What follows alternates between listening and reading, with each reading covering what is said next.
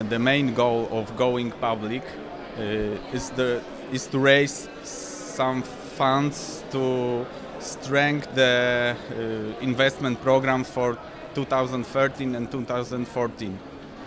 It helps us strengthen the capacity of production in our company. Our long-term strategic goal uh, is to become a major player on the European market for complex grain storages through further dynamic growth in the scale of business.